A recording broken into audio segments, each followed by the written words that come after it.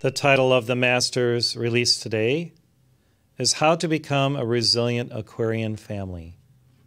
And this is beloved Saint Germain and Portia, and they gave me this teaching yesterday, so I'll be sharing it with you.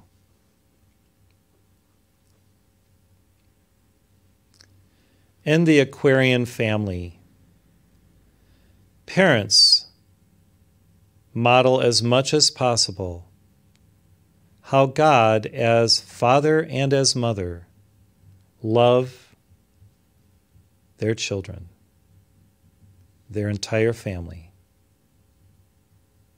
All of their children are recognized as sons and daughters of God, made in the image and likeness of the Father, Mother, God. And they, as representatives of the Father, Mother, God, Alpha and Omega, stand for their families and their children. In the center of that circle of a little community of light that the family is. Love is at the center of life, at the center of our own beings and at the center of loving and resilient families. Love is the guiding light, virtue, and divine force or power that allows the family to fulfill its purpose and to be resilient in the process. Holy prayer seals love within a tangible aura or flow field that in turn nourishes and nurtures and protects the souls of each family member and the oversoul of the family. Just as each soul has a guardian angel, so each family has a guardian angel or spirit assigned to overshine that unit, that family, as sacred, truly a sacred unit of light. Each family is a circle or as the natives often said, a hoop, in which each person is a co equal. Each person is a co equal. So, although parents beget their children and are charged with providing for and protecting and nurturing and maintaining the family culture, each child is a co equal in the eyes of heaven and integral to the fulfillment of the divine plan of the family. With this understanding, it somewhat spiritually levels the playing field of all interactions so that every individual is honored for the intrinsic God identity that they represent who they truly are. Sometimes the children may actually be older souls than the parents. And the parents can learn a lot from their children. So when we have this respect, this honoring of each one as co equal, then there is equanimity, which is a divine equality, recognizing the God within each one. Each family has a divine plan created through the collaboration of each family member in the planning process before incarnating physically upon earth. This divine plan is a blueprint of how the family will coexist in harmony, work together, and meet the challenges that it naturally will experience. within the karma and the dharma that is being played out, often for the resolution of past life conflicts, yet also for the benefit of the earth and all evolutions through the talents and gifts and mastery that each individual within that family brings to the table, to the equation of life where they live, to their greater community. As part of this divine blueprint of the melding of soul characteristics through both the physical genetics and the spiritual DNA of all members, there is the result of an interesting dynamic. The guardian angel of the family highlights the positive traits that are passed on generation to generation, while also, as best as possible in accord with cosmic law, mitigating the negative traits, lessening them, or at least kind of the opposite of highlighting, it's kind of low lighting them. And this can occur when there is the energy of forgiveness and mercy within the family, because that is the impetus by which the guardian angel can facilitate this process. So, the more loving and forgiving and understanding we are with one another in the family dynamic and in all the relationships that are still evolving because they didn't just leave off in another lifetime, they're being experienced now. There is the opportunity for this sacred dynamic of resolution, and that really happens through loving understanding, forgiveness, and being merciful one to the other. When a family prays together, a sacred matrix is established that allows for the highest good to manifest through divine intervention, yielding great results that can neutralize the most toxic of past records that at times could erupt into contentious arguments, misunderstandings, and occasionally even physical harm or abuse. God forbid. So, prayer is the antidote to virtually every problem or issue that may arise. And when family members hold hands or they pray together in a true spirit of cooperative and collaborative union, the angels do step in and allow there to be this magical, mystical, and even miraculous intervention from the divine world that yields great results in each one's life and in the collective life of the family. Radical forgiveness is a must for the highest level of resiliency to manifest within the family. Radical forgiveness is a must for the highest level of resiliency to manifest within the family. We just finished the Kuan Yin Rosary with the Ho'oponopono prayer and song, one example of radical forgiveness, which is a divine science. It is mysterious, magical, and miraculous.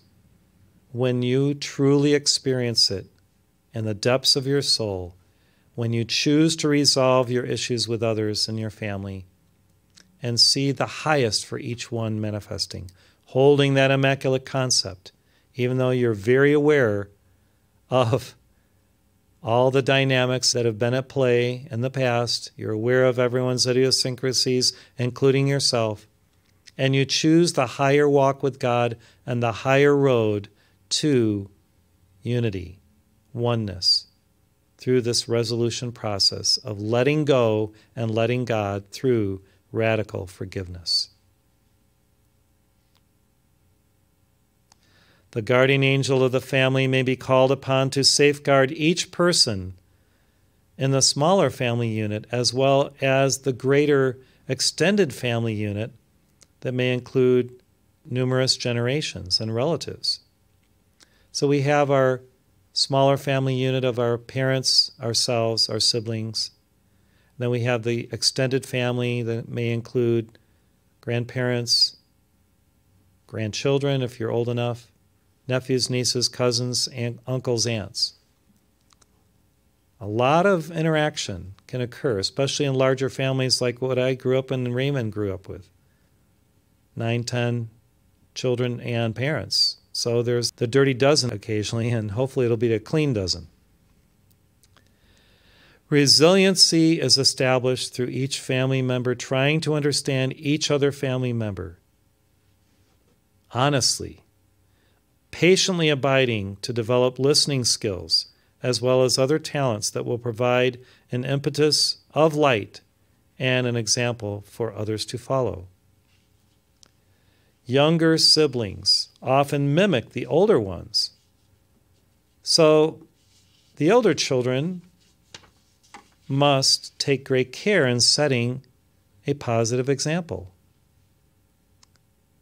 preferably even being servant leaders within their family.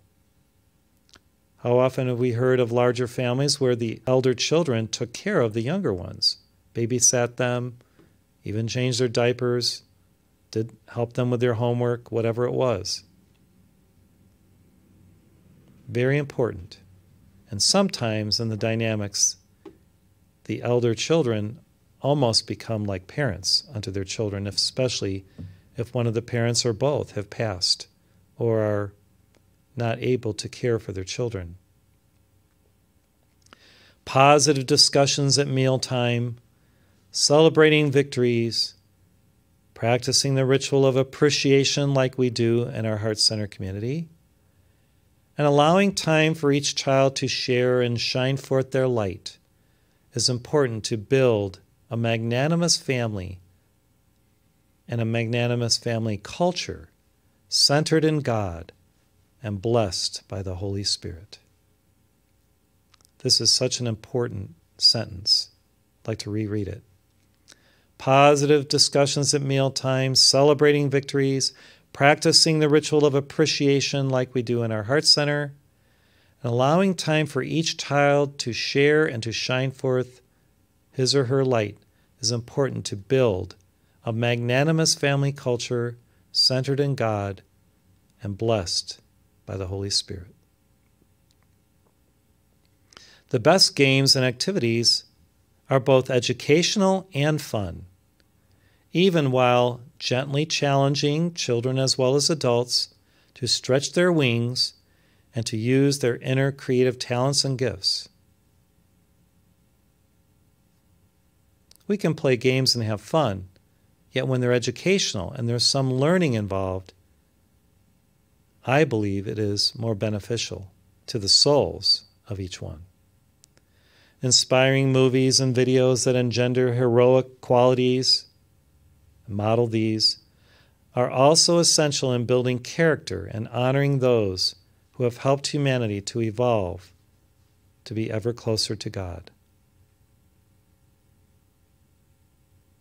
Exercise and movement, including dance and music, is extremely important to help children balance their four lower bodies and develop strong bodies, sound minds, and radiant hearts.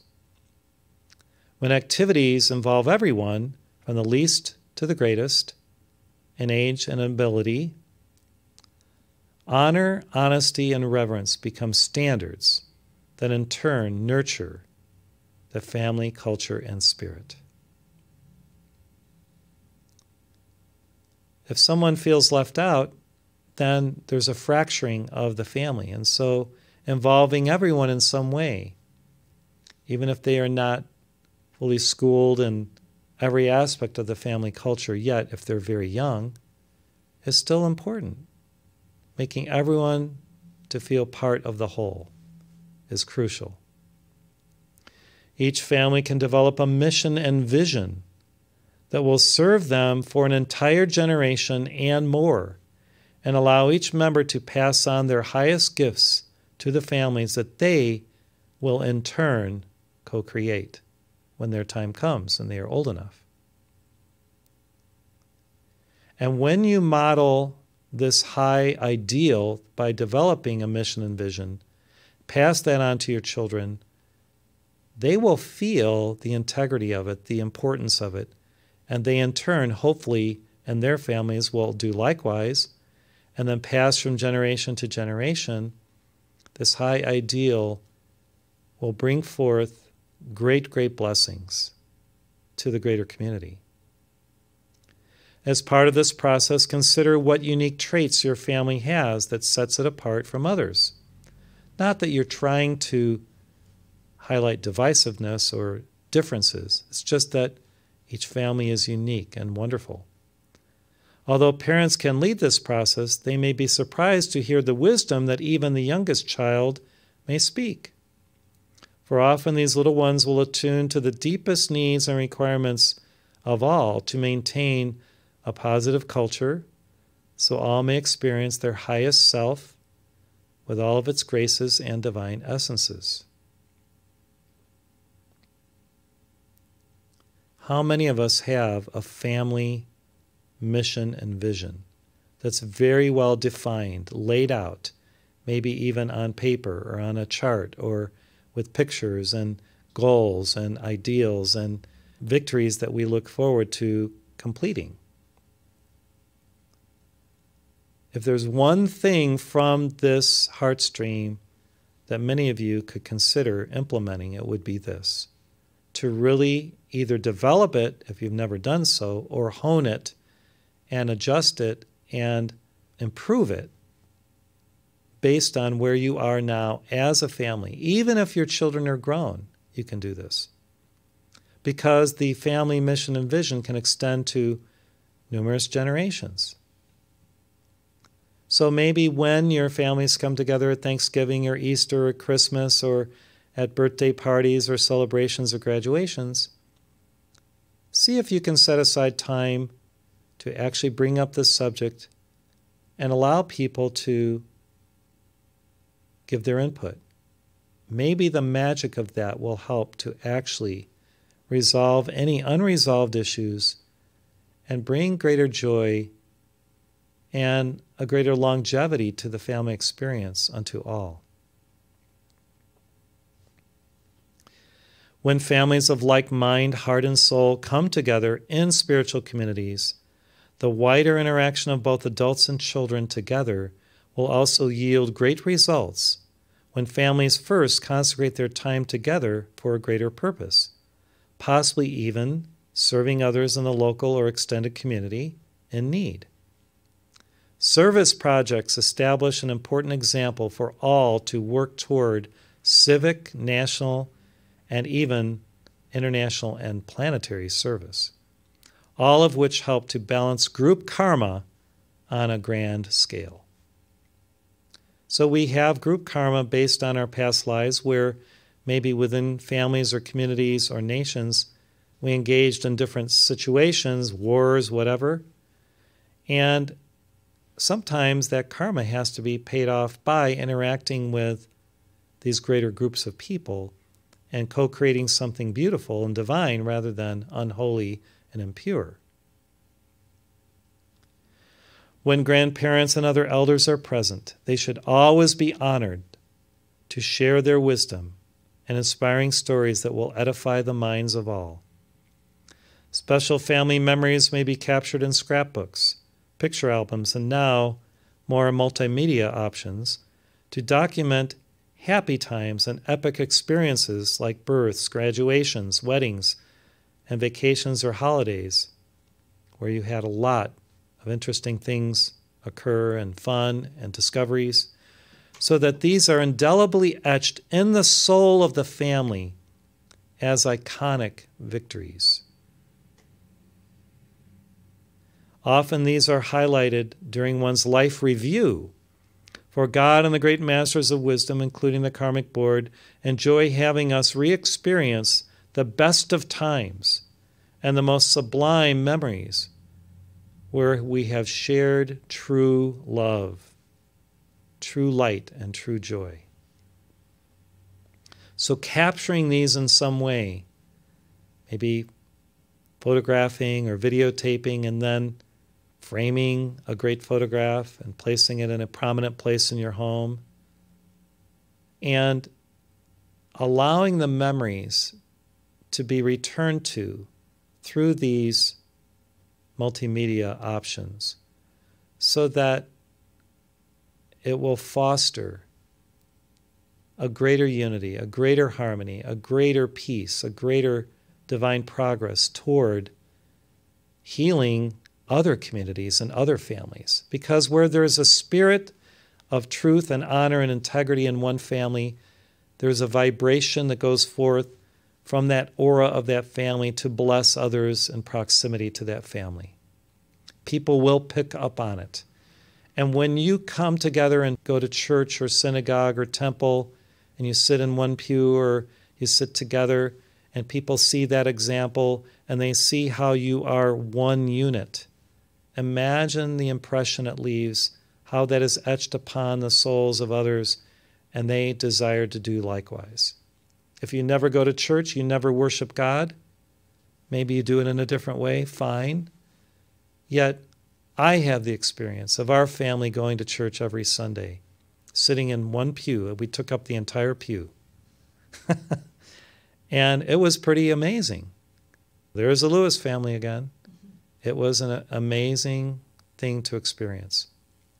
None of us were perfect, obviously, yet we did this together as a unit. And it was a blessing for us and a blessing for that church and that community for us to be there, as well as many other families. If there is time, please share now what types of experiences you consider to be those that help build a greater Aquarian culture upon earth, person by person, family by family, community by community. So we don't have much time, maybe five minutes. If anyone would like to share something, you've got like 30 seconds because that's all we'll have time for if we have 10 or 12 people share. So, would anybody like to say something about what types of experiences you consider to be those that help build a greater Aquarian culture upon Earth? Okay, so Christopher. Um, sharing and reading with my son Ryan. Um, we enjoy reading the Godfrey Ray King books together, and uh, very blessed to be reading that. We're on the I Am discourses now, and uh, also, of course. the prayers uh, that I learned from David's book, specifically the one with the gentleman meditating on the cover. That was one of the first books I bought from David. And uh, crystal diamond tube of light, opening invocation for prayer services. All those I have I have memorized by heart. Thank God. Uh, there are a lot of words to these certain prayers, and I I say them when my son walks next to me when we're walking our four miles. So I have these prayers memorized, and he says them with me, and uh, we go back and forth. But for now, I mostly say them, and uh, he just enjoys the vibration as we walk. So I feel that is very necessary for this Aquarian age praying, reading, meditating, and just being together, uh, even if it's in silence, because the vibration is there as long as you're living in harmony and forgiveness. Thank you. Thank you, Christopher. You made my day. thank you. Beautiful, thank you. beautiful. Ryan, you're amazing. So, how old are you? 15? Um, I'm 16 now. 16, okay. You, gra- you graduated to one more year. Okay, great. Thank you so much for coming all the way from Florida. We have some online. Go ahead, Boyd. Lupita says that they share meals together. These are some of the folks there. Nancy Locke says hikes in nature together. Lisa Delaney says cooking and sharing family meals at holidays. And uh, Marina, I guess this is Marina in Mexico, says um, we shared diplomas and awards and family members that the family members have. Like graduations. Yeah. Yeah. Uh, Anna Marie, I think in uh, Spain, says, once a day we have a family love and hugs moment. Wonderful. Awesome. That's a good one. And uh, Moika says they spend time together with their kids in nature. Monica. I'm sorry, Monica. Beautiful. Uh, Geraldine says cooking and being in the kitchen and reading together and dancing together bring them out in nature with the dogs and the horses. Awesome. And Gloria said, uh, actually, she says, Cynthia says that her daughter has such wisdom, sometimes she believes she is the one that puts her in her place. Great. And she leaves me speechless. Maria Min says, singing together. Beautiful. And uh, I can say for our Batten family, we we have a Batten family treasure map with uh, quadrants, and each each of us four have a, a section on it, and we have a, a family motto. And I can guarantee you, if you ask our kids what the family motto is, they know it. They all know it. It is Nancy and you can say it together. One, two, three. pay attention. Pay attention. Wow. Okay. Those were all absolutely wonderful, and it's just amazing. So, any final quick ones? Okay. Terry's coming to a mic. when we come together uh, at holidays, our family plays categories together, and that's like a a big um, competition and also a love fest at the same time. And when we were our children were growing up, we had a family mission and vision statement that we still have now. And um, one time we made a calendar, uh, a wall calendar with all the pictures of different times of the year on the wall calendar, Wow. so that we could like remember the memories of childhood. Beautiful, beautiful. Thank you. So, St. Germain would just like to put the capstone on the sharing by saying all of this is how you become a holy family. A holy family. We think of the Holy Family as Jesus, Mary, and Joseph, or now the extended Holy Family with Magda and maybe St. Germain's twin flame Portia, or Jesus' other siblings, and maybe with grandmother Anna and Joachim. Yet we can all have holy families. All of us can have holy families. And these are the things that engender that and build the Aquarian age.